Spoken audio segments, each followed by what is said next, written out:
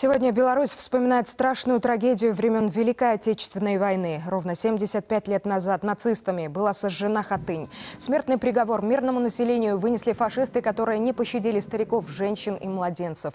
В огне погибли 149 человек. В память о жертвах тех событий в мемориальном комплексе состоялся митинг «Реквием». К вечному огню весь день люди несут цветы. Был возложен венок и от главы белорусского государства Александра Лукашенко. Глава администрации президента Наталья Качанова зачитала от имени президента Беларуси обращение к соотечественникам по случаю 75-летия Хатынской трагедии.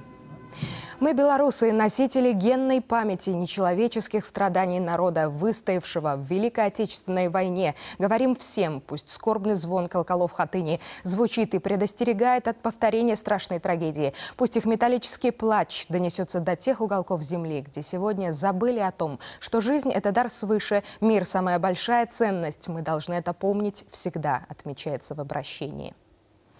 В ходе митинга «Реквием» также прозвучала всебелорусская молитва о мире, в которой приняли участие главы различных конфессий, представители власти и общественных объединений.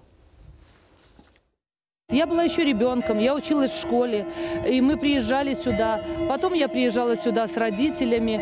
И вот сюда, когда сегодня я приехала вновь, я в очередной раз сделала для себя очень важный вывод.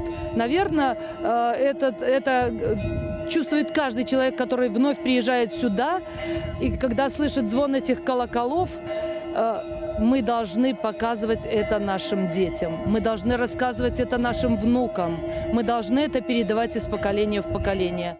Хатынь – это от слова «хата». Хата – это что-то мирное сразу, теплое, очаг.